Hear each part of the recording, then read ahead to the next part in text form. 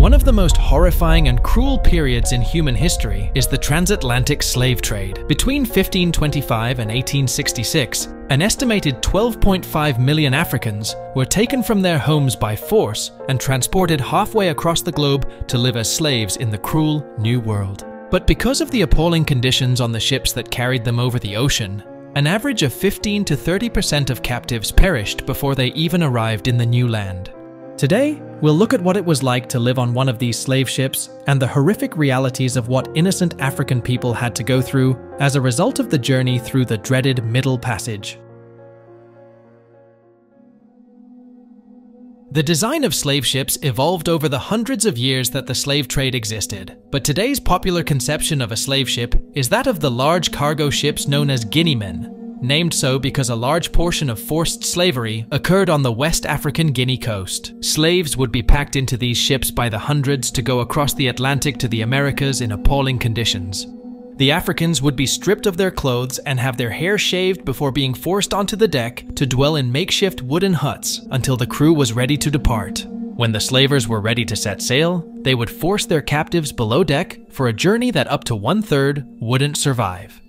Though there were also women and children on the ships, men made up around two thirds of the captured slave population. Women were kept apart from the men, sometimes above deck and unchained, but were subjected to much physical and sexual abuse from crew members. Some female slaves even arrived in the Americas pregnant, as a result of the brutality they endured on board the ships. Squeezed beneath deck in their hundreds, the men suffered in various horrifying ways, frequently in cramped quarters no larger than their own bodies, Far too small for a fully grown man to be able to walk, let alone sit up. These tiny compartments or shelves varied in height depending on the ship, the smallest measuring just 10 inches high, and the biggest remained less than 5 feet. Shackled to each other at all times, the men were made to lie end to end in these cramped, dark rooms, and they would remain in this position for the duration of the journey, which may take weeks or even months. They were allowed one hour a day on deck to exercise and get hosed down in an appalling attempt at sanitation, but this was just a jailer making sure their prisoner made it through the voyage, not an act of compassion from the crew. On the slave ships, disease was one of the main causes of death. There were no facilities for personal hygiene or designated areas for the slaves' toilet needs. They wouldn't be able to clean themselves if they vomited, which was a regular occurrence due to seasickness. If they wanted to go to the toilet, they would have to lay in their own urine and feces for hours.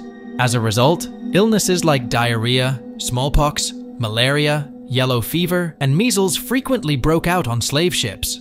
It's hardly surprising that these appalling conditions caused so many deaths and that the ones that did make it out were frail and ill from not eating much, as they were only given a little water and small portions of rice and beans twice a day, the bare necessities for survival. And that was only after making sure there was enough food for the crew.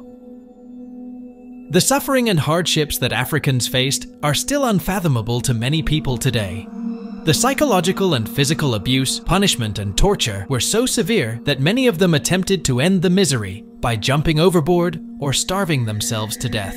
The crew wouldn't allow this, though, because a lost slave meant lost money. Force feeding was applied to slaves who attempted self starvation, holding them down and using a speculum oris to pry open their lips. Any acts of disobedience, including suicide attempts, were met with harsh punishments. The cat of nine tails, a multi-tailed whip, meant to ruthlessly sever the victim's skin in order to inflict the most amount of anguish, was a popular method of torture used by crewmates. Some crews would even inflict further excruciating pain on the most resilient captives by applying sea salt directly onto their wounds. This meant that diseases, starvation, dehydration, and torture weakened even the strongest slaves, making any attempted rebellion unlikely to succeed.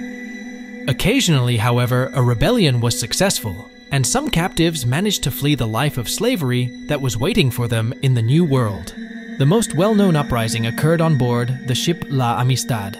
Nearing the end of the transatlantic slave trade in 1839, Slaves on board the La Amistad rebelled against their captors. Just over 50 African slaves managed to take control of the ship, killing the captain, but leaving the navigator unharmed so he could lead them home. The navigator had different ideas and guided them towards the north until the American Navy captured the rebel vessel. However, in an unexpected turn of events, the US court ultimately ruled in favor of the, the slaves, stating they did not deserve to be taken into captivity. The case became a symbol in the United States in the movement to abolish slavery. Over the three centuries of the transatlantic slave trade, far too many Africans were left powerless by the ships that carried them, and for those who made it through the harrowing voyage, the conditions in port were no better. After being forced from their homes and having their families torn apart, many wished that the nightmare ended on the very ships that carted them to the New World.